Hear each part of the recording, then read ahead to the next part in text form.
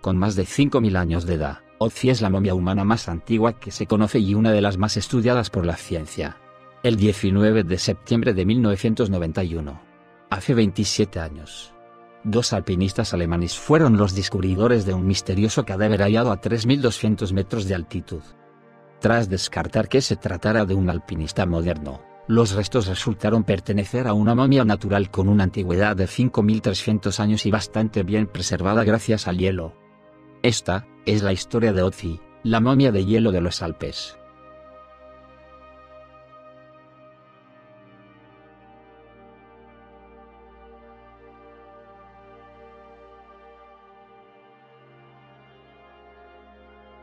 Ozi, el hombre de Simila o no simplemente el hombre de hielo, fue descubierto en el valle de Oz, en la frontera austriaco-italiana de los Alpes por unos alpinistas en 1991 a 3.200 metros de altura. Gracias a una tormenta en el Sahara, el polvo llegó hasta los Alpes y al calentarse con el sol, derritió el hielo más de lo habitual y dejó en parte descubierto a Ozi, que llevaba más de 5.000 años bajo el hielo. No fue hasta su posterior estudio que se descubrió su antigüedad real, ya que se pensaba que era un alpinista accidentado. Gracias a la técnica del carbono 14, se determinó que Otzi murió hacia el 3255 a.C., en la edad de cobre, lo que lo convertía en la momia más antigua del mundo mejor conservada. Además del cuerpo, se encontraron más de 70 objetos personales como armas, ropa, herramientas, entre otras, lo que dio más información sobre la vida de este hombre prehistórico.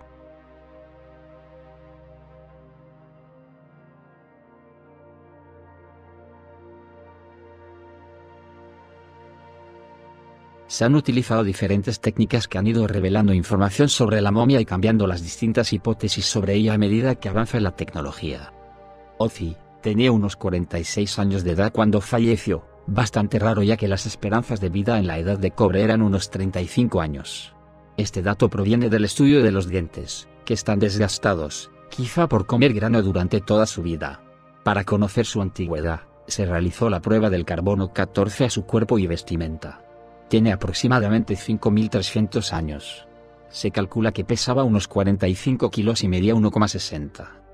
Un escáner realizado en el cuerpo de Otzi sacó a la luz que sufría diversos problemas bucales, como caries, quizá debido al consumo de pan y avena, periodontitis y dientes desgastados de usarlos como herramienta de desgarre.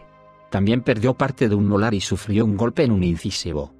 También sufría de artritis, cálculos biliares, tenía un bulto en un dedo del pie, roturas en nariz y costillas que se curaron antes de la muerte y tenía los pulmones negros de inhalar CO2, quizá de las hogueras y fogatas. Se han encontrado más de 60 tatuajes en todo su cuerpo, los más antiguos que se conocen, que consisten en pequeñas líneas, cruces y puntos.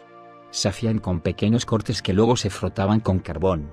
No parecen decorativos, por lo que se especula que formaran parte de algún tratamiento para mejorar la artritis, ya que señalan los puntos donde sufría dolor. En su sistema también tenía niveles altos de arsénico, probablemente por haber trabajado con minerales y metales.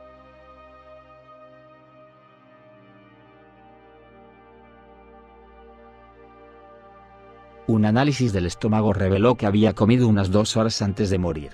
Comió una cabra salvaje, ciervo, cereales y plantas no identificadas. Se encontraron 30 tipos distintos de polen, por lo que probablemente murió en primavera, pero también se encontraron nuevos de parásitos que causan la enfermedad de Lyme, que afecta principalmente al sistema vascular, nervioso y esqueleto.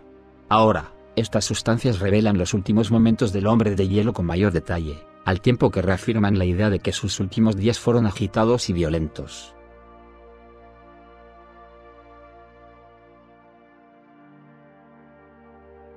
En primera instancia se creyó que Ozzy había muerto desangrado al caer por un glaciar pero las radiografías revelaron la presencia de una punta de flecha en su hombro, que le seccionó una arteria y le causó una hemorragia mortal, por lo que los investigadores analizaron con más atención el cuerpo y encontraron varias heridas en manos, torso y un golpe en la cabeza, la causa principal de su muerte. La revelación más sorprendente llegó en 2001, cuando el radiólogo Paul Gostner observó un detalle que había pasado inadvertido en las imágenes, una punta de flecha alojada en el omoplato izquierdo, lo que sugería que la habían disparado por la espalda.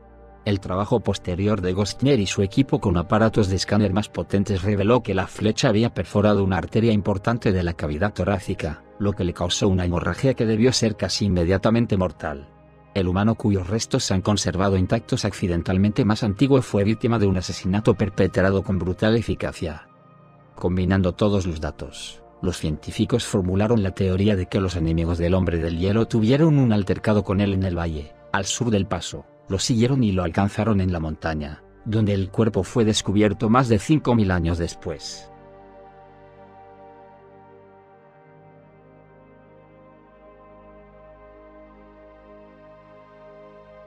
Se hicieron pruebas de ADN en diversas muestras de sangre, y se encontraron hasta tres tipos de sangre diferente. La sangre de su cuchillo de sílex que no es suya, todo apunta a que se vio envuelto en una pelea con varias personas y fue asesinado.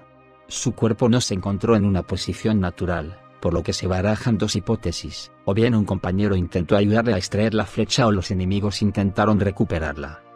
En 2008 se publicó el genoma completo del hombre de hielo. Así se descubrió que era intolerante a la lactosa, su sangre era de tipo cero, tenía los ojos marrones, sufría del corazón y arterias y está emparentado con los actuales habitantes de Córcega y Cerdeña.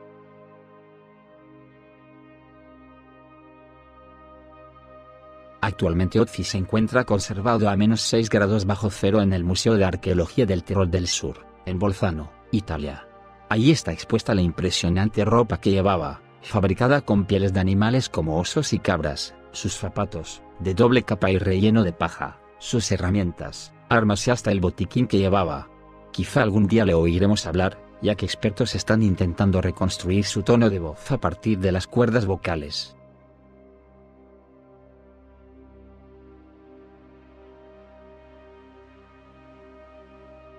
Hasta aquí esta historia, espero que el video te haya gustado, regálame un like y suscríbete si es así. De esta manera podré seguir trayendo contenido a este canal. Hasta la próxima.